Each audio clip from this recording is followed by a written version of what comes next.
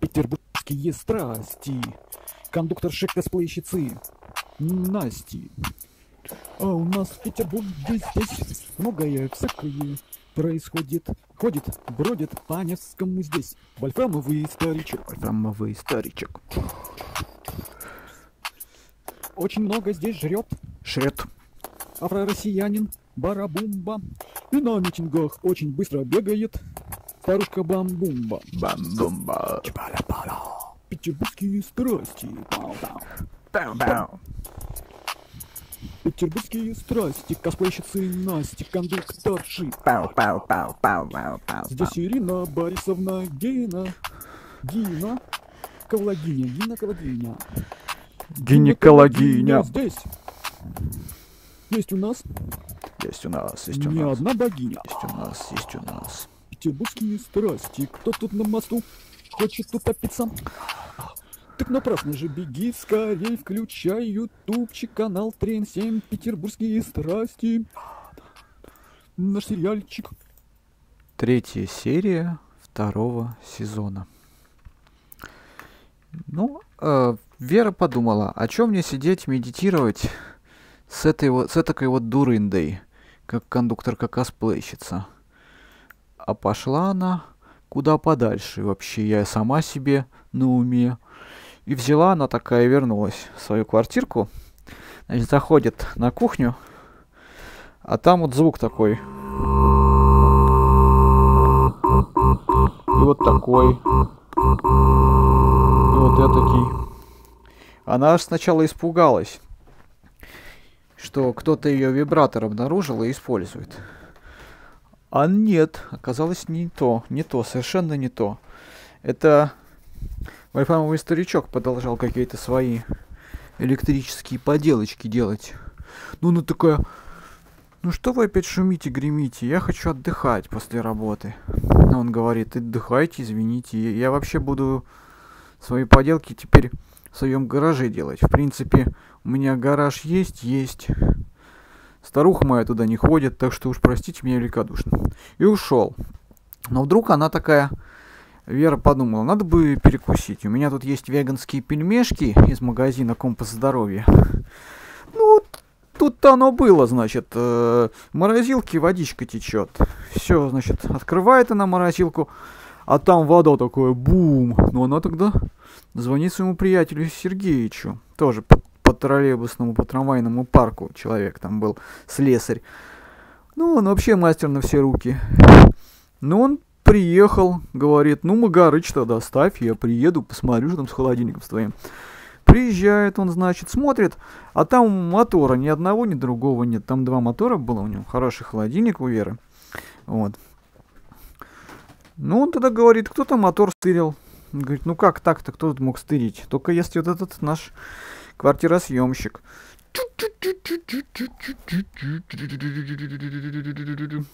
Ну, а кондукторша косплейщица вообще сказала, а не пойду-ка я на работу, буду практиковать духовные практики. Взяла четки и пошла гулять. И с четками ходит, перебирает четки.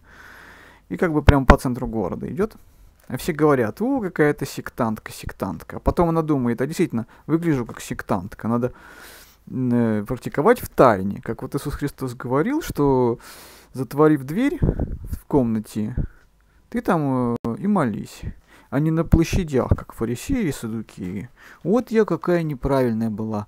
Вообще, глупая, глупая, дерзкая девчонка. Ну все, теперь я буду только э, в тайне практиковать. Так подумала наша кондукторша косплейщица.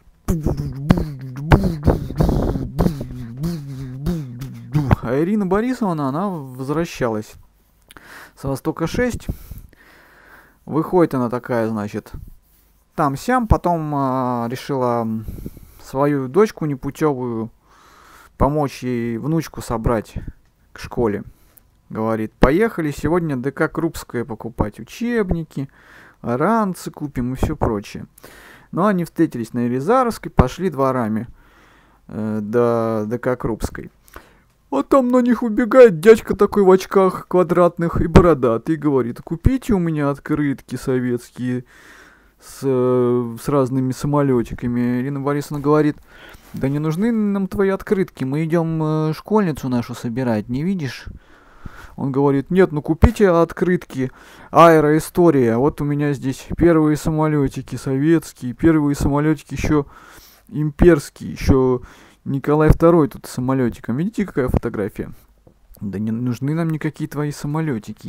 Иди ты к черту, говорит Ирина Борисовна, и толкает этого дядьку. Он говорит, ну купите тогда набор марок. У меня в кляйстерах есть огромные на наборы марок. Она тогда говорит, да иди ты к черту своими кляйстерами. И уходит, значит, дальше. К ДК Крупской.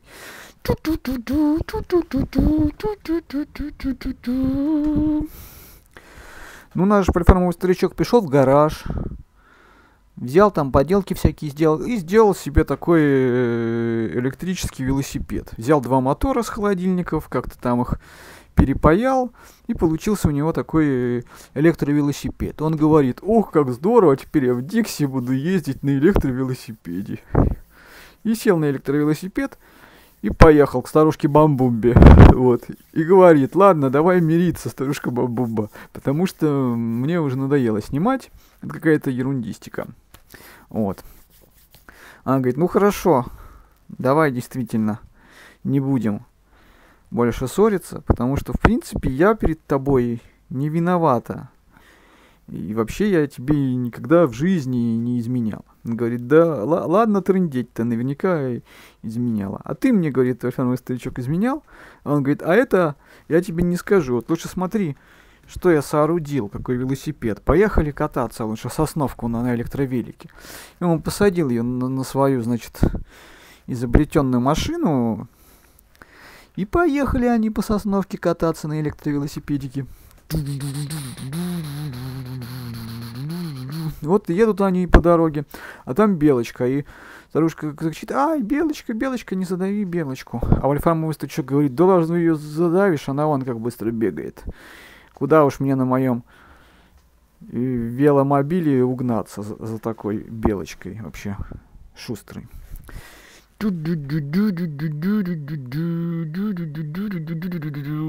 Мама Вера говорит, ну все, надо этого срочного жреца отлавливать, что-то его нет. Он говорит, так, наверное, после того, как он эти два мотора-то стырил, э, не, не придет он э, совсем. Ну, не знаю, не знаю, ужас. Хотели заработать, а только проблем себе наработали. Но он, правда, за два месяца вперед заплатил, мы ему туда не вернем. И залог ему не будем возвращать за такие дела. Да, я думаю, что это разумно. Мы не будем ему ничего возвращать, Вера. Ладно, мама, я пойду, мне надо практиковать. Иди, Вера. Сиди опять на своих подушках. Без толку.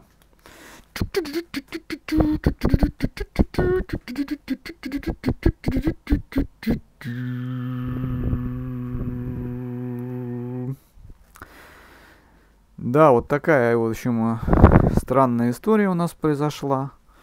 Ну вот э, Александрийская Невская, Александр Невская лавра вот э, стоит такая, там люди стоят у Александрийской лавры, ждут автобусики на экскурсию по разным святым местам.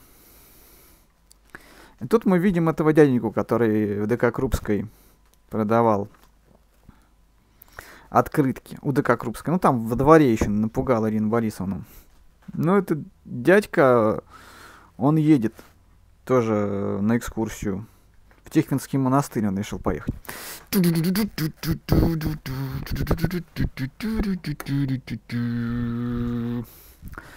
Ну, а у нас приходит, конечно, никто иной. Никто иной, все не понимают, где же, где же, где же, кто же, кто же, кто же, кто же, где же отловить этого вольфрамового старичка. Уже э, оперуполномоченный Свистулькин как бы уже э, вызывается в дом. Здравствуйте. Здравствуйте. У вас фамилия, конечно, очень смешная, но Свистулькин и Свистулькин. Ну, для, для полицейского, между прочим, хорошая фамилия. Ну хорошо, оперуполномоченный Свистулькин. Не могли бы вот найти? Вот у нас такой старичок жил. Он, значит, такой бодренький был. Вот. Э, значит, сдавали, сдавали, да? А налоги-то в казну со сдачи комнат платили. Ну, это не ваше дело, вы не налоговая инспекция, знаете ли. А вы вот то, что э, работаете смотрительницей Эрмитажа, это не дает вам, вам права тут меня тыкать. У нас интеллигенция сейчас сами знаете где. В списках иностранных агентов и нежелательных организаций. Так что вы бы помолчали, пока и вас куда-нибудь не занесли. Ах, вы мне еще угрожаете? Вообще-то я вас вызвала, чтобы вы нашли два мотора, которые у меня с холодильника украл этот жилец. А нечего, кому попало, знаете, сда- сдавать комнаты. А вот не буду я ничего вам искать. Вот так вот. Ну вы, Свистулькин, я, я напишу на вас жалобы. Жалобы в МВД напишу. В Генпрокуратуру.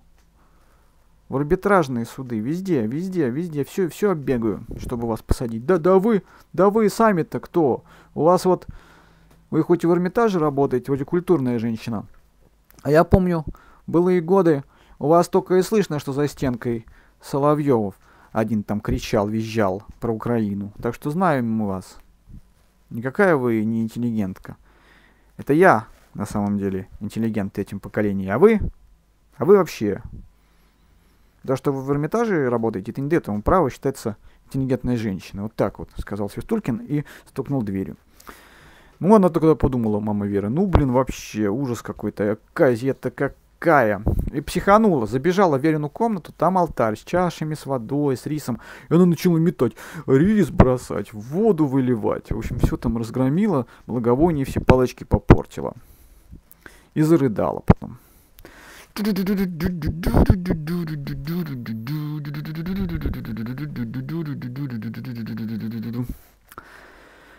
Ну, а кондуктор, как косплейщица наша, сидела в комнате, практиковала. Вдруг э, телефонный звонок. Но она городской, причем она даже подумала, какой идиот сейчас на городской вообще звонит. Ну, взяла, значит, трубочку, а там ей говорят, привет, Настюха, как дела? Это знакомый голос, но не узнаю вас, кто вы? Да это же я, Павел. Ах, Павел? Вообще какого ты имеешь здесь звонить мне, Павел? Мы с тобой уже расстались, между прочим, давно. 12 лет уже как прошло. А ты мне тут соизволил позвонить. Что тебе нужно от меня? Я тебе бросила и бросила. Вот так вот. Да я тут как-то ехал э, в трамвае и увидел тебя. Ты, оказывается, кондукторшей работаешь. А какая тебе разница, кем я работаю? Что тебе вообще от меня нужно?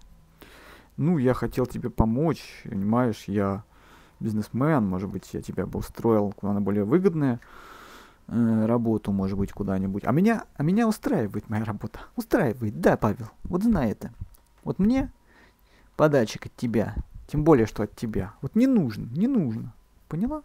И вообще, отстань от меня, сказала кондукторша косплейщица и бросила трубку.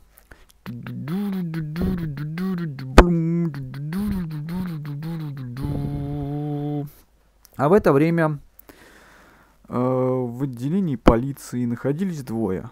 Наш, э, ба, значит, э, Барабумба. То есть какой Барабумба?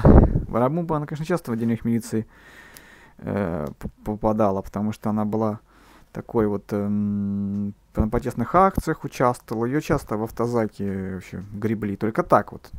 На раз-два. Одно из первых ее гребли, потому что она больше всех кричала, визжала и, и плакатами разными анти, антиправительственными размахивала. Вот. Ну, тут э, непосредственно был, конечно, наш Бамбумба, а не Барабумба. Бамбумба и его друг, которого он назвал которого в, в, в Гоша называли в, непосредственно в зоопарке ленинградском. Бегемот Гоша. Ну, тут он превратился в человека. Действительно, его звали Гоша. Но это не важно, как его звали. Он сейчас оказался человеком, и его приняли за перформанс. И тут вот э, разбирательство такое идет. Значит так, вы, уважаемый господин, можете просто называть меня Бамбумба. Бамбумба, барабумба, вы меня запутали. Вот вечно попадаются какие-то непонятные. Тут недавно у крейсера Авроры митинг был, и тоже мы взяли какую-то барабумбу. В общем, ужас какой-то. Теперь бамбумба, барабумба, я уже запутался, кто из вас кто. Короче говоря, Где? Где бегемот? Куда делся бегемот? Вы зашли в клетку. Вы зашли, точнее, точнее не в клетку, а у, клетки с бегемотом стояли. Где бегемот? Отвечайте мне. Вы что, не понимаете? Вот бегемот Гоша, он превратился в человека. Вы, вы, я не знаю, там, что нанюхали из своих солей, там, всяких мефедронов, я не знаю, но, в общем говоря, не может никаким образом бегемот превратиться в человека. Совершенно верно, потому что ты был человек, который был превращен в бегемота. Вы тут мне не говорите какие-то чепухи, ерунды какой-то. Что вы за бред-то несете такой вообще, а? Я, вы, вы, вы, вы вот пойдете вот, вот, вот. Вы вот за кражу бегемота, знаете, куда пойдете? Это госимущество, между прочим, бегемоты ленинградских зоопарков, петербургских. Вы вот пойдете как казнократ. Да ты что такое говоришь? Гоша, скажи ему.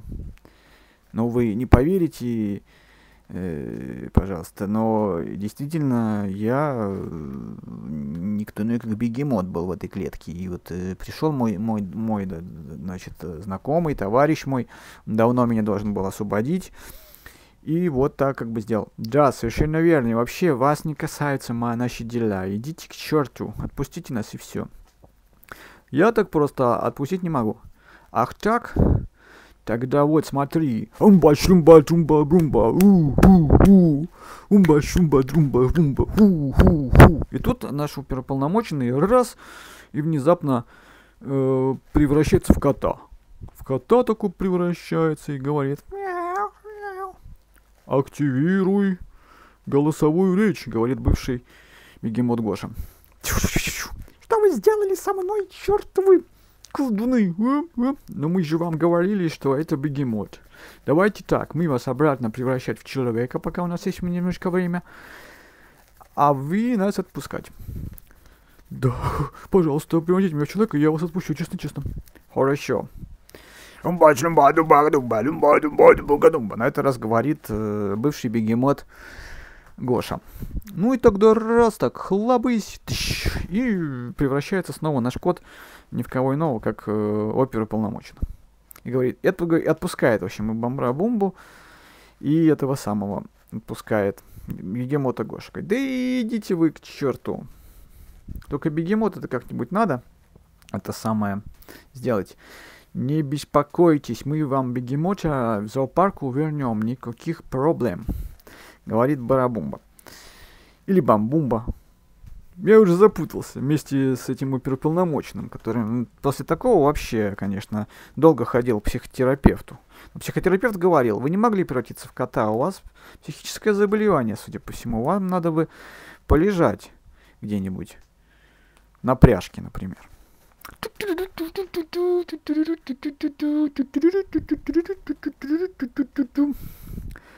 Ну и наш вот этот бородатый продавец открыток с ДК Крупской Техвинский монастырь сходил, походил. И такой идет уже по центру, довольный, такой радостный, что посетил много церквей, много монастырей.